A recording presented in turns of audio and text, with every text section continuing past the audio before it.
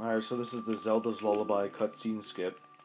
And what we're going to do is, um, as soon as you get the letter, what you're going to do is you're going to run over to the left. And uh, if you notice, I have half a heart. That's key. You have to get through um, the courtyard guards uh, with half a heart. That way you're able to do this trick. And what you're going to do, you're going to run over here.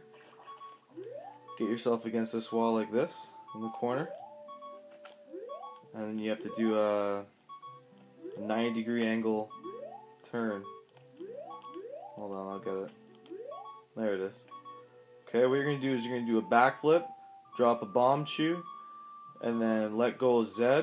Like, so you're going to hold Z this entire time, do a backflip and shield drop a Chu in midair, and then you're going to release Z and just hold, uh, hold R.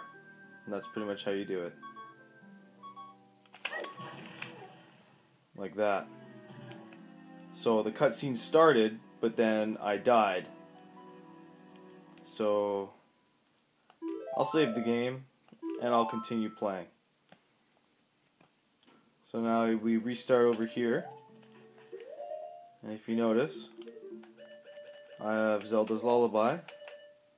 And I didn't learn it or anything. I just did the cutscene skip. So when you talk to her, she instantly warps you out. And there's no other cutscene after that where you would regularly go. So yeah, there we go.